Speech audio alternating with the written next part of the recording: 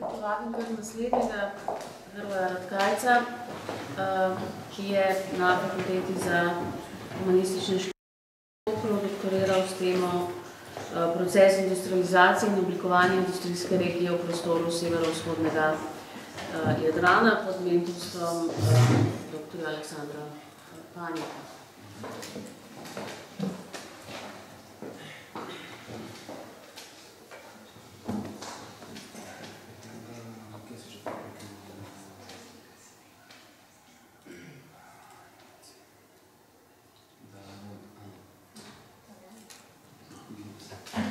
Lep pozdrav vsem.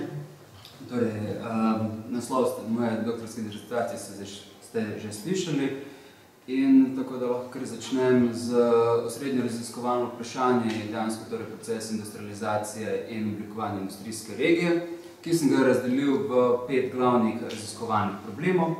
Eno je proces industrializacije kot tak v prostoru, torej kje so nastali industrijski obrati, Potem imamo drugi raziskovalni problemi, kako je to povezano z delovanjem v podeželskem ali bolj mestnem okolju, no, predvsem ta pliv uh, mesta na razvoj industrije v podeželju, tako imenovani proces pronicanja. V nadaljne uh, tukaj lahko opazujemo, ali so posamezna mesta kot urbana središča delovala kot tudi glavni industrijski centri v prostoru, In uh, kako se uh, ta proces industrializacije in razvoj industrije odvijal v enem časovnem okviru, torej kakšni so bili vplivi prve svetovne vojne in velike gospodarske krize. Na koncu zadnji, uh, zadnji raziskovalni problem je pa uh, oblikovanje industrijske regije kot takšne, ali lahko govorimo o industrijski regiji v tem prostoru ali ne. Uporabljena metodologija dejansko sledi raziskovalnim problemom in sicer pri obravnavi industrije v prostoru sem uporabil lokacijske dejavnike iz uh, splošne teorije lokacije. Torej, dejavniki, ki uh, nam odrejajo, zakaj so se posamezna, uh, posamezni industrijski obrati nastali na določeni lokaciji. Potem, glede vpliva mestnega in podeželskega okolja, sem uporabil tukaj lokalizacijske in urbanizacijske ekonomije, Torej, lahko opazujemo ta vzorec, lahko torej, kot sem že omenil, vpliv mesta, tudi posamezno eh, avtonomijo, eh, kaj se tiče podeželja, kaj se tiče lastnih pobud, ki so bile na bolj na podeželju. Eh, da bi opazovali, oziroma potem na tretji raziskovalni problem, torej glede formiranja mest, tukaj sem uporabil teorijo pola rasti, torej mestna središča, ki so že tako ali tako uh, urbani centri, torej ta aglomeracija v mestnih središčih, ki potem tudi ali naredi posamezno mestno središče tudi za industrijska središča. Marin Jacobs ekonomije nam dajo bolj tukaj ta dinamični aspekt in sicer mi tukaj skozi delovanje podjetni, podjetnikov, skozi finančne tokove lahko opazujemo, kako so se te pobude spreminjale oziroma nam odražajo, kakšne so bile tudi politike ki so bile uh, tukaj aktivne, torej avstrijska politika, potem pa italijanska politika med obema vojnama. In na koncu Polardo, uveljavljen Polardo koncept industrijske regije, torej industrijske regije kot nekakšen zaključen industrializiran prostor. Tukaj predstavljene torej, metodologija kombinira pristope iz ekonomske zgodovine in zgodovine podjetništva, ter nekako, jih, sem jih podal potem skozi en uh, ekonomsko-zgodovinopisni okvir. Raziskovalne metode, oblikoval sem bazo industrijskih podjetij, eh, pri čemer sem uporabil tudi dva, eh, sem uporabil določene kriterije, da sem lahko klasificiral posamezno podjetje kot industrijska, torej ali razpolaga za določeno količino minimalno število delavcev, eh, za uporabo mehanske pogonske sile, strojev, ali so tudi imajo dovolj kapitala, so aktivni v izvozu in podobno. Ne? Torej, ko sem na osnovi te baze podjetij, na osnovi tudi opisov za posamezna podjetja, sem potem šel skozi analizo vseh podjetij, skozi analizo tudi jih razporedil po posameznih sektorjih, oziroma panogah, se prečujem. In uh, na koncu na ta analiza skupaj z metodologijo lahko odgovori na vse naše raziskovalne probleme oziroma na glavno raziskovalno vprašanje. Zdaj, temeljni arhivski viri so tukaj bili fondi trgovinskih industrijskih zbornic v Trstu, Gorici in Vidmu, pri čemer bi Trstu še izpostavil um, trgovsko in, trgovsko in pomorsko sodišče, ki je tudi vodilo evidenci o podjetjih, dodatni arhivi, torej za, Paz, za Pazin oziroma za Istro, tudi v Vidmu in predvsem se tukaj uporablja tudi arhiv IRI. IRI je bil pomemben državni fond za investiranje v industrijo v 30 letih, torej fašistična, tako bi rekel, ideja. In torej tudi arhiv italijanske državne centralne banke. Če pridemo k samim rezultatom analize, rezultati analize mi so mi pokazali, da lahko analizirane industrije v posameznih industrijskih panah razdelimo v štiri glavne kategorije. In sicer obstajajo tako imenovane ključne industrije, tisto, ki so kapitalsko in delovno najbolj intenzivne, ki, iz, ki tudi izkazujejo zelo močne lokalizacijske in močne urbanizacijske ekonomije, torej so koncentrirane predvsem v mestnem okolju, povezane so dokaj med sabo, torej to postaja določena soodvisnost, tudi so zelo vezane na mestne, mestne storitve, na mestne transportno mrežo, na mestne finančne storitve.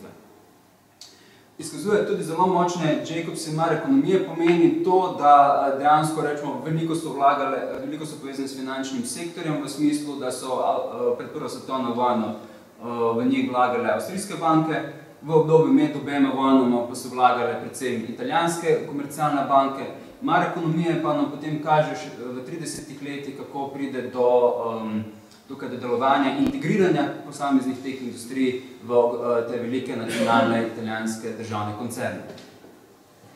Manjše ključne industrije dejansko delijo iste značilnosti kot uh, glavne ključne industrije, samo pač v manjšem obsegu. Za bolj plastični prikaz, torej lahko vidimo, da dejansko te omenjene ključne in manjše ključne industrije so koncentrirane v Trstu, proti Tržiču in tudi proti Gorici. In so tudi največji obrati, seveda, kot že omenjeno, tukaj imamo te glavne železniške povezave, preko Trsta gor na Ljubljano proti Dunaju in tudi preko Tržiča proti Italiji. In seveda Trsko pristanišče, povezave ven na, proti Mediteranu, Levantu, Amerikam in tako dalje. Na drugi dve kategoriji so mešane in razpršene industrije. Zdaj, mešane industrije so že bolj uh, tako razprošene, oziroma so bolj razporejene na široko v, v prostoru, pri čemer imamo določena velika podjetja, kakšne uh, tipe kemične ali petrokemične industrije, ki so bolj vezane na, kakš, na urbano okolje, medtem ko rečemo lesna industrija ali torej industrija predelave rib, ne, je pa lahko tudi locirana v manj urbanem okolju, naprimer v Izoli ali Kopru, kot je bilo to primer. Uh, pri čemer, in potem imamo še razprošene industrije, industrije, ki so dokaj razpošene v prostoru, eh, vezane večinoma na surovine, eh, tako da tudi zelo majhne povezave so z urbanim okoljem tukaj. Rečemo, industrija pridobivanja boksita, ki je bila zelo močna, v Istri sploh ni bila skoraj da nikakor povezana s Trstom, kajti vse povezave šla potem na Italijo, bolj kot na Trst. Naprimer. Je pa zanimivo paziti pri teh uh, posameznih primerih, rečemo lesne industrije, pekarske, kamnolonske industrije, te zelo močne lokalne Jacobs ekonomije. To pomeni, da imamo veliko majhnih podjetnikov, ki investirajo v razvoj teh majhnih podjetij, teh majhnih industrijskih obratov. In to niso toliko podjetniki, ki bi prihajali rečemo iz Gorice ali Trsta ali Tržiča, ampak so podjetniki, ki ravno prihajajo iz tistih krajev, majhnih krajev, kjer so nastali ti obrati, rečemo, za pekarsko industrijo je to spodnje posoče, za lesno industrijo je to bolj notranjska.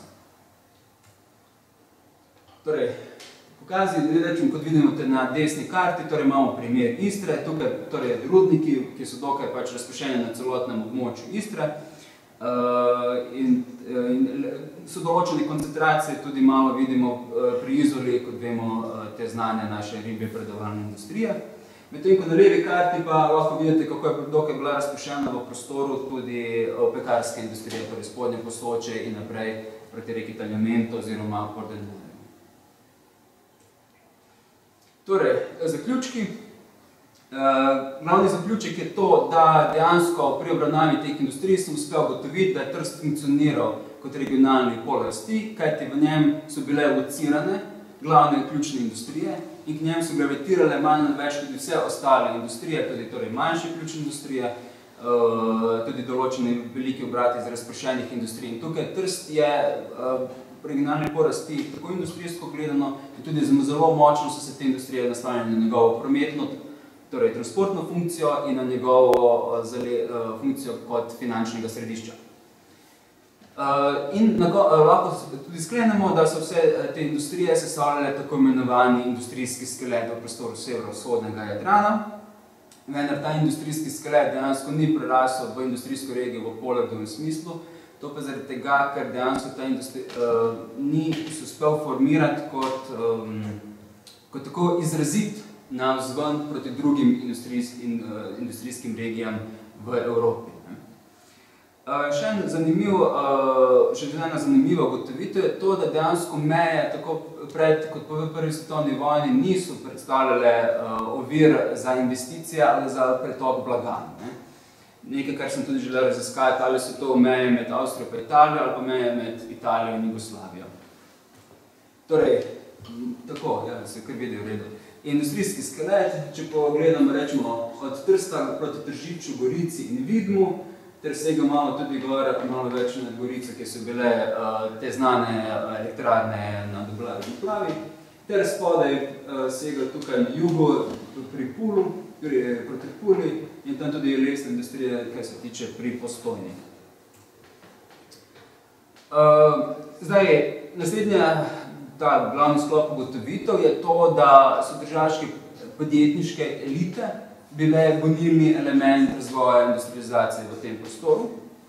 In tako so bile močno tudi povezane z avstrijskimi podjetniki in bankami pred prvo svetovno vojno.